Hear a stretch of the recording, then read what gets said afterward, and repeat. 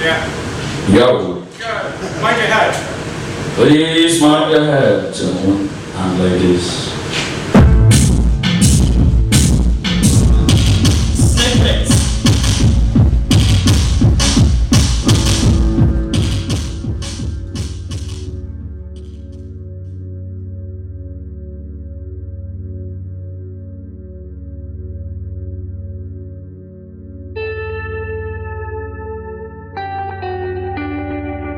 After the operation to remove the tumour, I was uh, bedbound for a long time in London, St George's in Tooting, and uh, music played a big part, as you can imagine, because I couldn't see a television. I, I think I tried to watch a Wales rugby game, and I nearly, apparently I was crying because my eyes were so messed up I couldn't see it. But I can laugh about it now because I just listened to as much music as possible, and uh, and that's continued with me throughout my uh, progression and rehabilitation.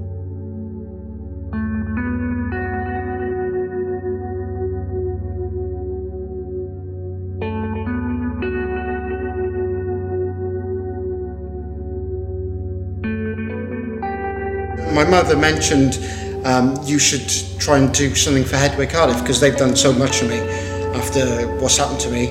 Uh, brain tumour was discovered when I was 27. Um, I had to have surgery, uh, and then another tumour popped up as well. So I've had lots of you know bad things happen to me, and Headway Cardiff have done lots for me, uh, as they do for many others, and. Uh, it's uh, you know it's nice to be able to pay them back in some way uh, because they don't receive any statutory funding. So you know every donation is well appreciated. First first year we had the school we had the school headlining, um, but it was a very short thing, so it was like say five or six bands. And this year now there's ten, so I'm really loving the fact.